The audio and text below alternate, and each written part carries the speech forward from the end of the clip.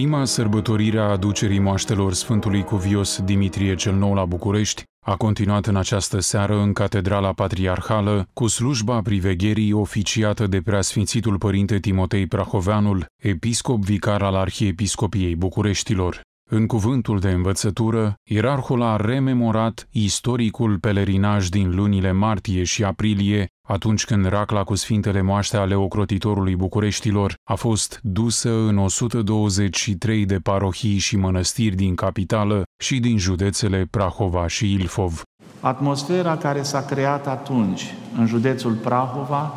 începând cu protoieria Câmpina, prima care a fost binecuvântată de prezența Sfântului Cuvios Dimitrie și continuând apoi cu protoieriile Ploiești Sud și Ploiești Nord,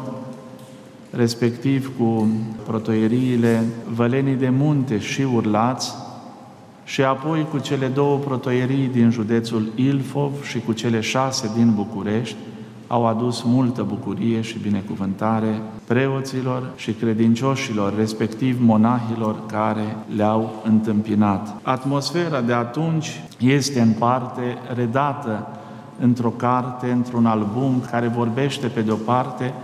prin mărturisirile celor care au întâmpinat moaștele Sfântului Cuvios Dimitrie și pe de altă parte prin frumusețea unor imagini, a unor fotografii realizate atunci. Preasfinția sa a apreciat totodată prezența credincioșilor în număr mare la procesiunea de aseară și la Sfânta Liturghie din această dimineață. Niciodată, poate, din anul 2008, de când uh,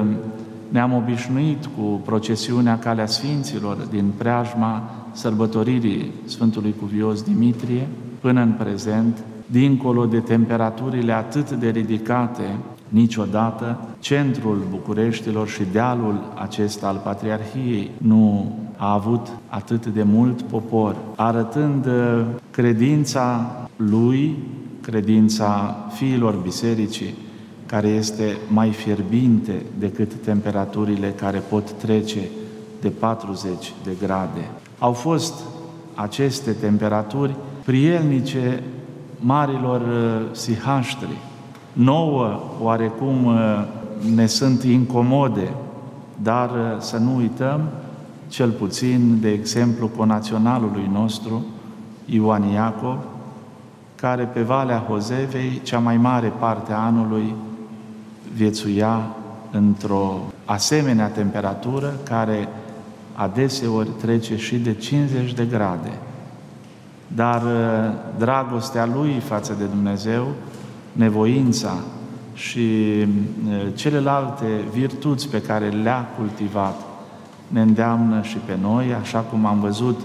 și aseară și astăzi la frații noștri care nu s-au temut de astfel de temperaturi și au fost prezenți atât la slujba privegherii, la procesiune, iar astăzi la Sfânta Liturghie. Din soborul slujitor au făcut parte părinții protoerei de la cele 13 protopopiate ale Arhiepiscopiei Bucureștilor. Răspunsurile au fost date de grupul psaltic Tronos.